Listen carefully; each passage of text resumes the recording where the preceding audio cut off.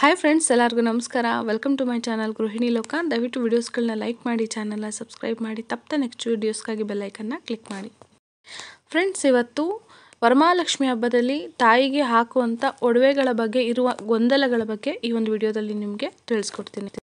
ಈಗ ಆಲ್ರೆಡಿ ಸುಮಾರು ಜನ ವ್ಯೂವರ್ಸ್ ಕಮೆಂಟ್ ಮಾಡಿದರು. ಅಂದರೆ ಆರ್ಟಿಫಿಷಿಯಲ್ ಒಡವೆ ಹಾಕ್ಬೋದಾ? ಅಥವಾ ನಮ್ಮ ಒಡವೆಗಳನ್ನ ಅಂದರೆ ಚಿನ್ನದ ಒಡವೆಗಳನ್ನ ಹಾಕ್ಬೋದಾ?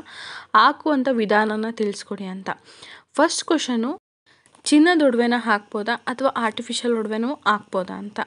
ಸೊ ನೀವು ಒಂದು ಅರ್ಥ ಮಾಡ್ಕೊಳ್ಳಿ. ತಾಯಿ ಮಹಾಲಕ್ಷ್ಮಿನ ನಾವು ನಮ್ಮ ಒಂದು ಮನಸ್ಪೂರ್ವಕವಾಗಿ ಪೂಜೆನ ಮಾಡ್ತಾ ಇರ್ತೀವಿ. ಸೊ ನಾವು ಇನ್ನೊಬ್ಬರನ್ನ ಮೆಚ್ಚಿಸೋದಕ್ಕಿಂತ ತಾಯಿನ ಮಚ್ಚಿದ್ರೆ ಸಾಕು. ಅಲ್ವಾ? ಸೊ ಹಾಗಾಗಿ ನಿಮ್ಮ ಮನೆಯಲ್ಲಿ ಎಷ್ಟಿದೆ ಅಷ್ಟು ಚಿನ್ನದ ಒಡವೆ ಹಾಕಿದ್ರೂ ಸಾಕು.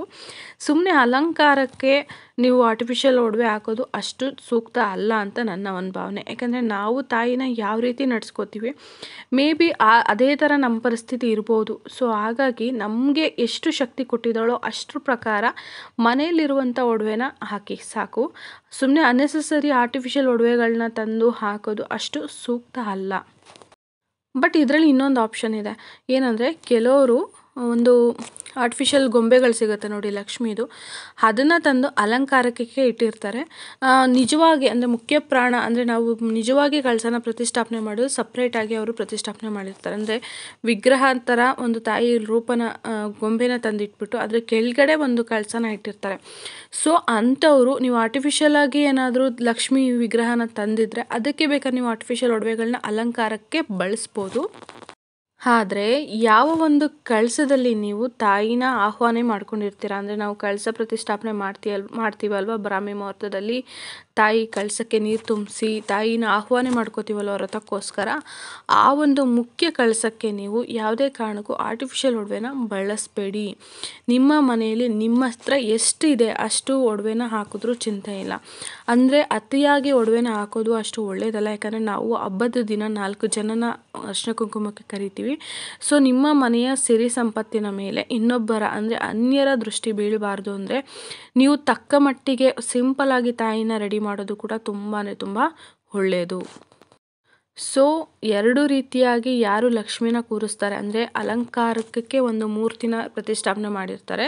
ಅದರ ಕೆಳಗಡೆ ಒಂದು ಮುಖ್ಯವಾದ ಒಂದು ಕಳಸನ ಪ್ರತಿಷ್ಠಾಪನೆ ಮಾಡಿರ್ತಾರೆ. ಸೊ, ಅಂಥವರು ಅಲಂಕಾರಕ್ಕೆ ಅಂತ ಇಟ್ಟಿರುವಂಥ ಲಕ್ಷ್ಮಿಯ ವಿಗ್ರಹಕ್ಕೆ ಬೇಕಾದ್ರೆ ಆರ್ಟಿಫಿಷಿಯಲ್ ಒಡವೆಗಳನ್ನ ಹಾಕೊಳ್ಳಿ. ಆದರೆ, ನೀವು ಆ ಲಕ್ಷ್ಮಿನ ಆಹ್ವಾನ ಮಾಡಿ ಕಳಸನ ಪ್ರತಿಷ್ಠಾಪನೆ ಮಾಡ್ತಿರಲ್ಲ, ಆ ಒಂದು ಮುಖ್ಯ ಕಳಸಕ್ಕೆ ನೀವು ಆದಷ್ಟು ಚಿನ್ನದ ಒಡವೆನೇ ಬಳಸಿ. ಇನ್ನು ಎರಡನೇ ಕ್ವಶನ್ನು ನಾವು ಧರಿಸಿರುವಂಥ ಒಡವೆಗಳನ್ನ ತಾಯಿಗೆ ಹಾಕ್ಬೋದಾ? ಚಿನ್ನ ಎಲ್ಲಿದ್ದರೂ ಚಿನ್ನನೇ ಅಲ್ವಾ? ಸೊ ಹಾಗಾಗಿ ತಾಯಿಗೆ ನಾವು ಹಾಕುವಂಥ ಒಡವೆಗಳನ್ನ ಹಾಕ್ಬೋದು, ತಾಳಿನ ಬಿಟ್ಟು. ಇದು ಯಾರೂ ಮಾಡಲ್ಲ ಬಟ್ ಒಂದು ಮಾತಿರಲಿ ಅಂತ ಹೇಳ್ತಾ ಇದ್ದೀನಿ. ಸೊ ಹಾಗಾಗಿ ನೀವು ಹಾಕುವಂಥ ಒಡವೆಗಳನ್ನ ತಾಯಿಗೆ ಹಾಕ್ಬೋದು, ಆದರೆ ಅದರಲ್ಲೂ ಒಂದು ವಿಧಾನ ಇದೆ. ಒಂದು ಏನಂದರೆ ಫಸ್ಟು ಯಾವ ಒಡವೆಗಳನ್ನ ತಾಯಿಗೆ ಹಾಕ್ತೀರಾ, ಆ ಒಂದು ಒಡವೆಗಳನ್ನ ಶುದ್ಧವಾದ ನೀರಲ್ಲಿ ತೊಳ್ಕೊಳ್ಳಿ. ಕೆಲವರು ಸ್ವಲ್ಪ ಶಾಂಪೂನ ಹಾಕಿ ತೊಳಿತಾರೆ, ಅಥವಾ ಕೆಲವರು ಅರಿಶಿನ ಪುಡಿ ಹಾಕಿ ತೊಳಿತಾರೆ, ಇನ್ನು ಕೆಲವರು ಲೈಟಾಗಿ ಹುಣಸೆ ನುಳಿನ ಹಾಕೊಂಡು ಕೂಡ ಒಡವೆನ ತೊಳಿತಾರೆ. ಆ ರೀತಿ ಯಾವ್ದಾದ್ರು ಒಂದು ವಿಧಾನದಲ್ಲಿ ಒಂದು ಒಡವೆಗಳನ್ನ ಕಂಪ್ಲೀಟಾಗಿ ತೊಳೆದ್ಬಿಟ್ಟು ನಂತರ ಒಂದು ಒಂದು ಕಪ್ಪಲ್ಲಿ ಹಸುವಿನ ಹಾಲನ್ನ ತೊಗೊಳ್ಳಿ. ಅದ್ರ ಒಳಗಡೆ ಕಂಪ್ಲೀಟಾಗಿ ನೀವು ತಾಯಿಗೆ ಬಳಸುವಂಥ ಒಡವೆಗಳನ್ನೆಲ್ಲ ಆ ಒಂದು ಹಾಲಲ್ಲಿ ಹಾಕ್ಬಿಡಿ. ಒಮ್ಮೆ ನೀವು ಹಾಲಲ್ಲಿ ನೀವು ಹಾಕಿರೋಂಥ ಒಡವೆಗಳನ್ನ ಹಾಕಿದ್ರೆ ಯಾವುದೇ ದೋಷಗಳಿರೋದಿಲ್ಲ ಒಂದು ಶುದ್ಧವಾದ ರೀತಿಯಲ್ಲಿ ತಾಯಿಗೆ ನಾವು ಧರಿಸ್ಬೋದು. ಹಾಲ್ಗೆ ಹಾಕಿದ್ಮೇಲೆ ಮತ್ತೆ ನೀರಲ್ಲಿ ತೊಳೆದ್ಬಿಟ್ಟು, ಶುದ್ಧವಾದ ನೀರಲ್ಲಿ ತೊಳೆದ್ಬಿಟ್ಟು ಒಂದು ಬಟ್ಟೆಯಲ್ಲಿ ನೀವು ಸ್ವಚ್ಛ ಮಾಡಿ ಅಂದರೆ ಒರೆಸಿ ನಂತರ ನೀವು ತಾಯಿಯ ಒಂದು ವಿಗ್ರಹಕ್ಕೆ ಅಥವಾ ಕಳಸಕ್ಕೆ ನೀವು ಈ ಒಂದು ಒಡವೆಗಳನ್ನ ಹಾಕ್ಬೋದು. ಇನ್ನು ಮೂರನೇ ಕ್ವಶನು ಹಬ್ಬ ನಾಲ್ಕು ಜನನ ಕರಿತೀವಿ, ಮರ್ಯಾದೆ ಪ್ರಶ್ನೆ. ನಾನು ಬೇರೆಯವ್ರ ಹತ್ರ ಒಡವೆಗಳನ್ನ ಈಸ್ಕೊಂಡು ಬಂದು ಅವತ್ತೊಂದು ದಿನ ಹಬ್ಬಕ್ಕೆ ಹಾಕ್ಬೋದಾ? ಹಾಕ್ತೀರಾ ಅಂತ ಅಂದ್ಕೊಳ್ಳಿ ನೀವು ಅಷ್ಟು ಪ್ರೀತಿಯಿಂದ ಹಬ್ಬ ಮಾಡ್ತೀರಾ, ಭಕ್ತಿಪೂರ್ವಕವಾಗಿ ಸೆಲೆಬ್ರೇಟ್ ಮಾಡ್ತೀರಾ, ಆದರೆ ಒಡವೆನ ನೀವು ರಿಟರ್ನ್ ಕೊಡಲೇಬೇಕಲ್ವಾ? ನಿಮ್ಮ ಮನೆಗೆ ತಾಯಿ ಮಹಾಲಕ್ಷ್ಮಿನ ಕರೆಸ್ಬಿಟ್ಟು ಅವಳಿಗೆ ನೀವು ಬೇರೆಯವ್ರ ಒಡವೆನ ಹಾಕಿ ಮತ್ತೆ ನೀವು ಅವರಿಗೆ ವಾಪಸ್ ಒಡವೆನ ಕೊಡಬೇಕಾದ್ರೆ ತಾಯಿ ಇಂಡೈರೆಕ್ಟಾಗಿ ನೀವು ಅವ್ರ ಮನೆಗೆ ಕಳಿಸ್ದಂಗೆ ಆಗುತ್ತೆ ಅಲ್ವಾ? ಸೊ ದಯವಿಟ್ಟು ಆ ಒಂದು ಕೆಲಸನ ಮಾಡೋಕೆ ಹೋಗ್ಬಿಡಿ. ಇದನ್ನು ಯಾರು ನನ್ನ ಕೇಳಿದ್ರು ಸಬ್ಸ್ಕ್ರೈಬರು ಸೊ ಅದಕ್ಕೋಸ್ಕರ ಈ ಒಂದು ಮಾಹಿತಿನ ಹೇಳ್ತಾ ಇದ್ದೀನಿ. ನಿಮ್ಮ ಮನೇಲಿ ನಿಮ್ಮಷ್ಟದು ನಿಮ್ಮದು ಎಷ್ಟಿರುತ್ತೆ? ಒಂದು ಗ್ರಾಮ್ ಇದ್ರೂ ತೊಂದರೆ ಇಲ್ಲ ರೀ. ಏನೂ ಆಗಲ್ಲ. ಅವಳು ಕೊಟ್ಟಿರೋಂಥದ್ದನ್ನ ಅವಳಿಗೆ ಕೊಡ್ತೀವಿ. ನೀನು ಕೊಡು ಜಾಸ್ತಿ. ನೀನು ನೂರು ಗ್ರಾಮ್ ಕೊಡು, ನೆಕ್ಸ್ಟ್ ವರ್ಷ ವರ್ಷ ನಿಂಗೆ ನೂರು ಗ್ರಾಮ್ ಒಡವೆ ಹಾಕ್ತೀನಿ ಅಂತಲೇ ನೀವು ಮಾತಾಡ್ಕೊಂಡು ಬೇಕಾದ್ರೆ ತಾಯಿ ಹತ್ರ ನಿಮ್ಮ ಮನೇಲಿರುವಷ್ಟು ಒಡವೆನೇ ನೀವು ತಾಯಿಗೆ ಹಾಕಿ ಯಾರನ್ನೋ ಮೆಚ್ಚೋಕ್ಕೋಸ್ಕರ ಇನ್ಯಾರಿಗೋ ನೀವು ತೋರಿಸ್ಕೊಳ್ಳೋಕ್ಕೋಸ್ಕರ ಬೇರೆಯವ್ರ ಒಡವೆಗಳು ಆರ್ಟಿಫಿಷಿಯಲ್ ಒಡವೆಗಳನ್ನ ಯಾಕೆ ಬಳಸ್ತೀರಾ?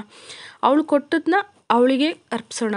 ವಾಪಸ್ ನೀ ಜಾಸ್ತಿ ಕೊಡು, ನಾನು ನಿನಗೆ ವಾಪಸ್ ನಿನಗೆ ನನ್ನನ್ನು ಅಲಂಕಾರ ಮಾಡ್ತೀನಿ ಅಂತ ತಾಯಿ ಹತ್ರನೇ ಒಂದು ಸಂಕಲ್ಪ ಮಾಡ್ಕೊಳ್ಳಿ.